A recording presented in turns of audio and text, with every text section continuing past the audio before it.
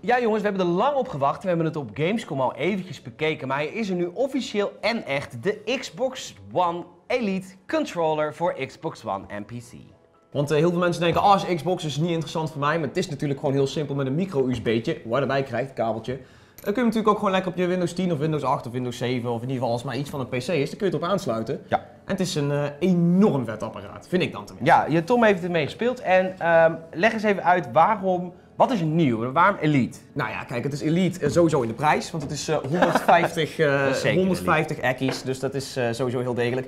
Er zijn een heleboel prominente verschillen met eh, de normale Xbox One controller, die overigens ook al heel fijn is voor je PC. En allereerst, first and foremost, is natuurlijk het feit dat je vrijwel alle knopjes, joysticks, de D-pad, kun je eraf halen en die zijn allemaal magnetisch. En dan heb je eh, verschillende ja, opzetstukjes voor, die kun je er zo inklikken. Ja, je kan Heel het dus langer maken of korter maken. Ja, of, of je nou juist een, een, een, zeg maar een kuiltje hebt of liever een bolletje in je joystick, dat is dus belangrijk. En dus heb jij liever een hele grote D-pad of heb je gewoon zo'n simpele vier punten druktoets. Dat is het ding. Verder heb je ook nog de flippertjes achterop. Vier mogelijkheden om eh, flippertjes te installeren voor bijvoorbeeld het herladen van je geweer, wat dan heel snel kan in shooters. Of het eh, op- en omlaag schakelen met een auto in een racepel. Heel fijn dat je daar niet allemaal knoppen voor nodig hebt. En de triggers, die zijn ook nog eens heel belangrijk. De triggers die eh, kun je nu zelf instellen of je zeg maar een lange klik of een korte klik wil. Kun je eigenlijk heel makkelijk on the fly kun je aanpassen van ik wil snel tikken voor in een shooter of ik wil eh, volledige precisie hebben voor bijvoorbeeld het gassen met een uh, racepel. Dat je echt heel degelijk zo net iets meer gas moet hebben of net iets meer remmen. Kun je dan zo heel makkelijk zelf instellen.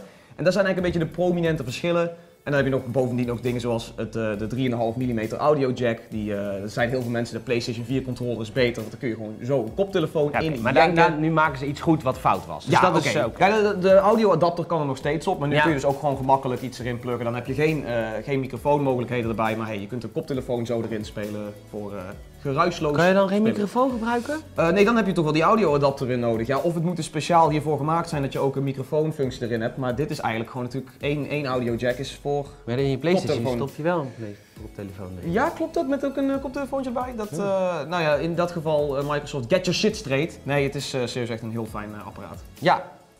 Nou, tot volgende week weer bij Gamers Gear. Ja, nee, serieus, Echt, het, eh, het is echt een topapparaat. Het is gewoon Ja, heel maar duur. het valt me op, dat altijd als het over Xbox en Microsoft gaat, begin je heel erg te Nee. schreeuwen tegen mij. Nee, nee, nee, dit is niet, dit is niet Dus je Want ik heb ook, jawel, ik heb een nadelig punt eh, aan dit ding. Het is niet alsof ik hem helemaal de hemel in prijs. Er zijn echt, er zijn een paar punten waarvan ik zeg, eh, eh, niet helemaal fraai. En dat kan ook gewenning zijn, maar is ook smaak. Wat dan?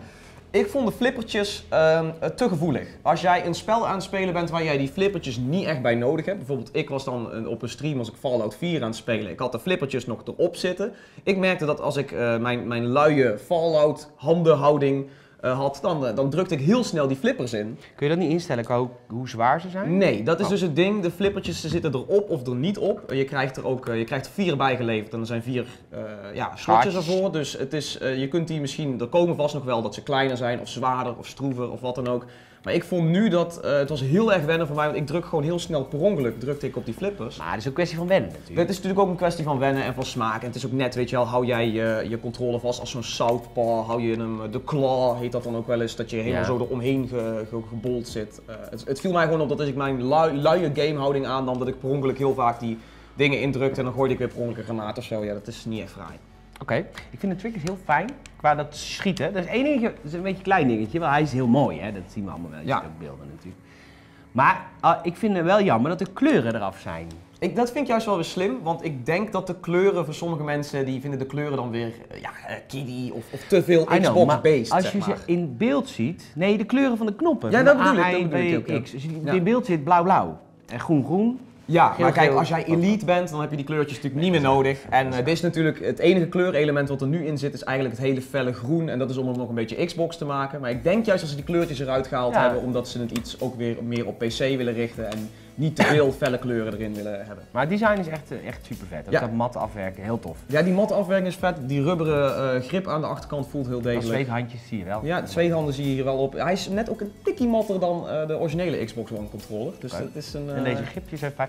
hey, er wordt ook toffe software bijgeleverd, vind ik. Ja. Je kan alles mappen. Ja, dat is natuurlijk het ding. Dat kan Maar ook op Xbox One, hè? Dat ook op de Xbox One en nu ook met de oude Xbox One controller kun je ook dingen mappen. Maar met deze is het veel fijner om je eigen button mapping te doen, want je kunt niet één profiel op de controller laden. Je hebt natuurlijk die switch in het midden en dan klik je door naar het andere profiel. En ik denk dat dat met bijvoorbeeld een shooter, dat je on the fly kan wisselen, dat moet heerlijk zijn. Als jij een, dat je een layout hebt met Call of Duty, eentje voor een shotgun en eentje voor een sniper. Dus de sensitivity is anders, de herlaatknop zit misschien ergens anders. Wil je met een makkelijkere knop knifen of zo, dat kan je met een shotgun dan wel doen, met een sniper dus weer niet. Dan is het weer slim dat je die flipper erin hebt, dat je kan zeggen, hé, hey, ik ga meteen naar de andere profiel.